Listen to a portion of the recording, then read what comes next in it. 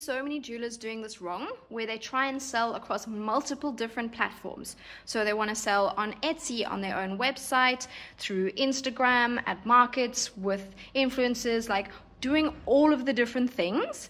And at the end of the day, if you think about it, all of these different options are a learning curve in itself.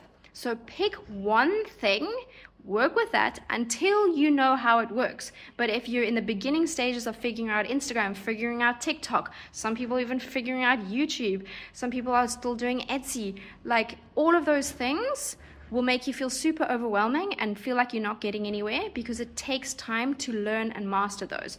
So, Instagram can be super amazing, but I see so many people struggling with it and feeling like they're not getting anywhere, which is literally why I created a whole course on Instagram because it's free and it's a fantastic marketing platform that anyone can literally access a huge community of people worldwide to sell your jewelry from. So if you're interested in that, comment below and let me know.